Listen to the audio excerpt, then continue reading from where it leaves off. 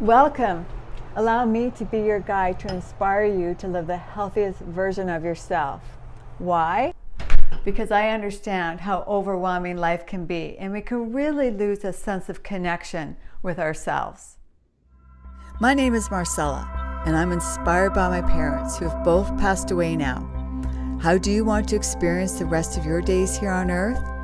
Let me inspire you to live your best life. I'm out here getting ready to move and get my heart pumping. But to be real honest, I can analyze every millimeter of a blowing leaf and rationalize that it is way too windy to get out. Ugh, what to do? Join me in the kitchen as we prepare some healthy recipes together, and we just might spark your inner culinary flame.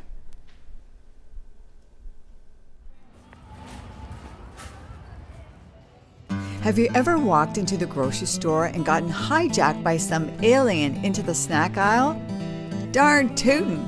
This always happens when I go in with a hungry, growling stomach and without a plan.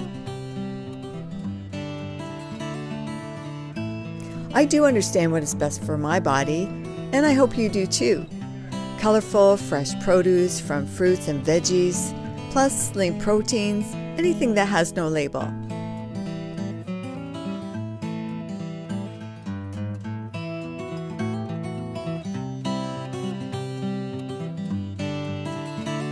It is our best interest to go around the perimeter of the store, buying whole foods, and occasionally going down the aisle to take the time to check out the labels. Oh, I can hear the moan. Okay, potatoes with salt in a bag, anyone?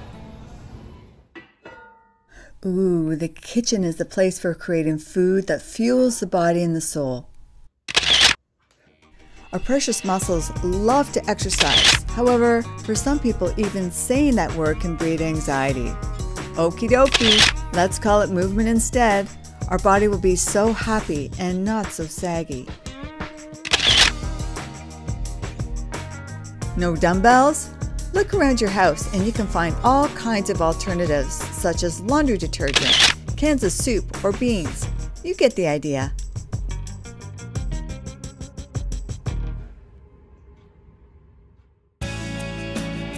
Stress can be such a conundrum. A great way to combat this is to release some pent up frustration, anger, or whatever has got you feeling bogged down. Can you see a pattern here? I'm moving yet again.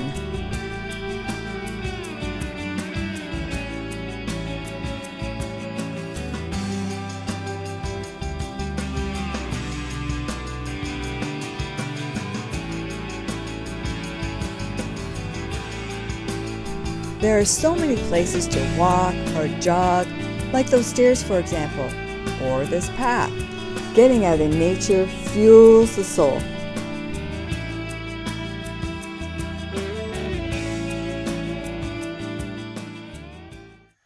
Mindfulness can be key to coming back to ourselves.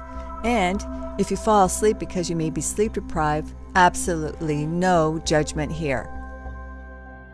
If you would like some more guidance, you can find it in my book. I promise not to yell.